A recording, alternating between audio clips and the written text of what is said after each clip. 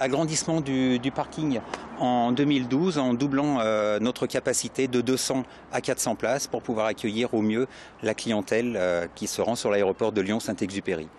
Les parkings privés ont la cote à l'image de cette société qui a vu son taux de fréquentation doubler depuis ses débuts en 2006, car sur des moyennes durées, les prix sont 15% moins chers que ceux pratiqués par l'aéroport, avec en prime des services personnalisés.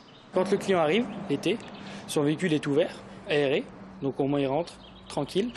Et l'hiver, en fait, on lui met le chauffage dans son véhicule. Comme ça, quand il rentre de l'île Maurice, il fait 35 degrés, il arrive, il y a son petit chauffage qui est dans le véhicule, déneigé, et il peut repartir tranquille.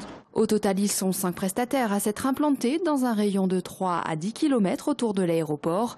L'aéroport qui, avec ses 1500 places proposées, voit ses parkings low cost avant tout comme un complément. C'est un complément au niveau du choix de nos clients sur le fait d'accéder aux aéroports de Lyon. Donc on a passé des accords sur un minimum d'engagement qui sont l'accueil, qui sont la ponctualité, qui sont l'information, qui sont des incontournables pour venir travailler sur l'aéroport.